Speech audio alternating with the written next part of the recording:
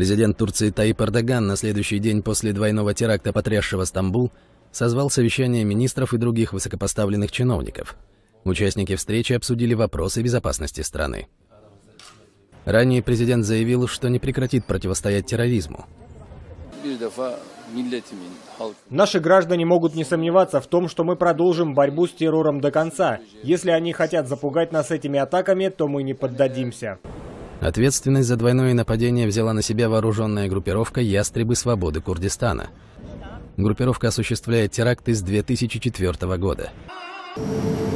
Турецкие ВВС наносят новые удары по позициям бойцов курдской рабочей партии на севере Ирака. Вооруженные силы, опубликовавшие кадры налетов, сообщают, что главными целями в этот раз были склады с оружием и припасами. По меньшей мере 8 целей подверглись ударам F-16 в области границы между Турцией и Ираком.